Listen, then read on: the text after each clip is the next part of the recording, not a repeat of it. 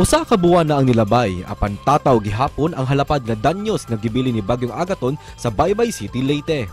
Ang dakong pagdahili sa yuta gikan sa bukid kalit nga mitabon sa usa ka sadyang barangay nga karon makabungog ng kamingaw sa maong dapit. Gumikan sa maong makalalisang nga kalamidad, gituyo og bisita sa usa ka soil scientist o professor nga si Dr. Victor Asho gikan sa Visayas State University ang maong dapit aron sa pagsusi sa kalidad sa yuta niini. Human sa iyang pagbisita, mipagawa siya og article kabahin sa iyang mga obserbasyon ingon man mga matumbok nga hinungdan sa mga landslide nga sagad mahitabo sa Eastern Visayas. Busa karong buntaga, makisayod kita kabahin niini aron mas masabtan pa nato kini ug mahilayo sa peligro nga mugna sa mga landslide dinhi lang sa GMA Regional TV Live. Iskutantan higayon na makapuso kining halapad nga mga landslide nga nahitabo dito sa probinsya sa Leyte ni atong miaging buwan. Sa may nakaingon ni adto makaubanta karong buntaga sa programa Soil Scientist o Professor sa Visayas State University sa Baybay City, Dr. Victor Asho. Maayong buntag, Dr. Vic. Welcome sa GMA Regional TV Live. Kumusta ka karong buntaga, sir? Mayong munta, okay lang. Salamat sa pag-imbitahan kanako karon. Thank you for joining us, Dr. Asho. Sir, ikaw man gyud ang misusi dito humaning nahitabo nga makalilisang ug halapad kay nga landslide labi na dito sa Baybay City. Unsa may nakaingon adto, sir?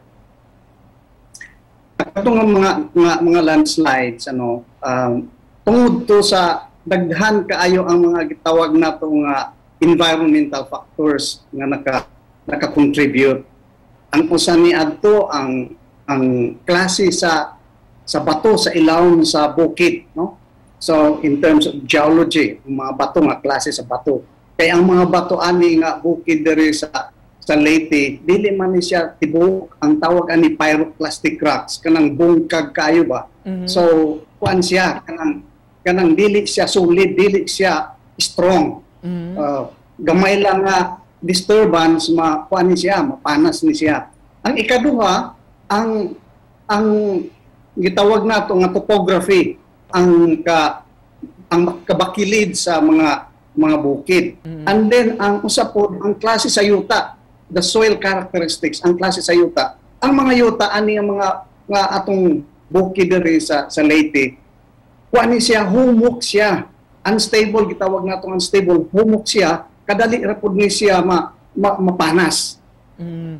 O ang usapod nga na, na ay contribution na po epekto ani ang ang mga ang vegetation.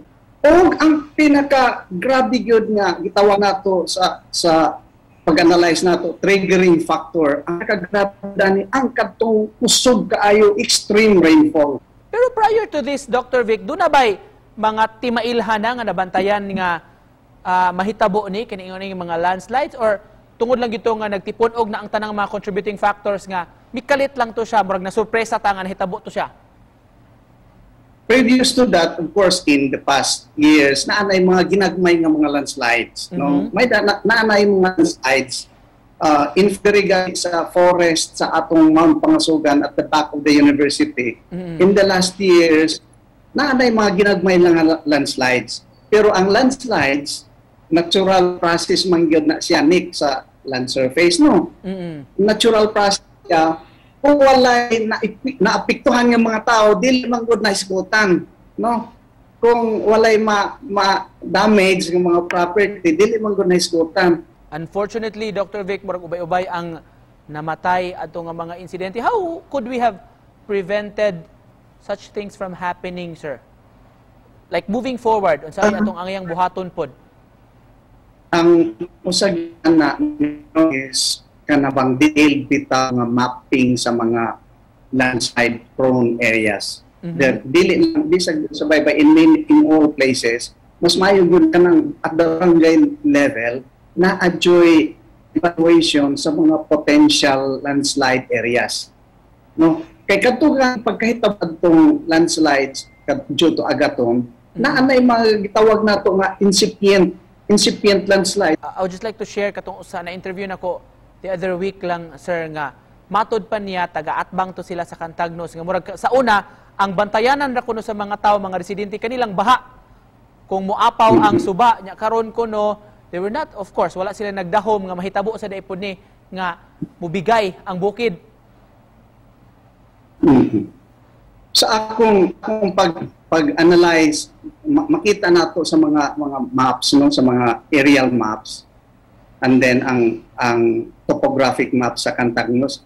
Dako jud ang akong pagtuwa. I'm really convinced nga kadto bitang nag nga barangay a former slide debris. In other words, sa una nag-landslide na to pero wala lang kahibaw ang mga tao.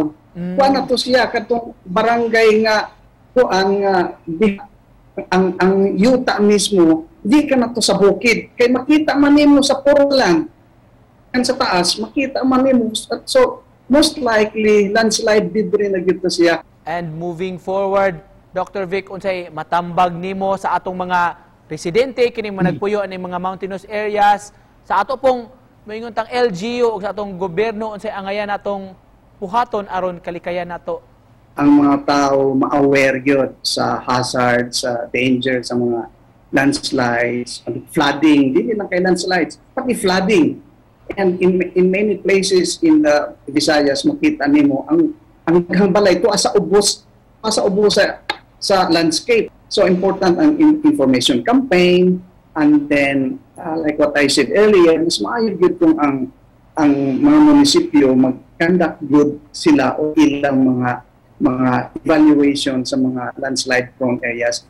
All right, and with that, we'd like to thank you, sir, for joining us this morning. Daghang salamat sa imong mga inputs ug daghan kay mig nakatunan gikan kanimo karong buntaga mga kapuso. Professor sa Visayas State University sa Baybay ug soil scientist Dr. Victor Asho. Daghan kay salamat, Doc. Daghang salamat thank you kayo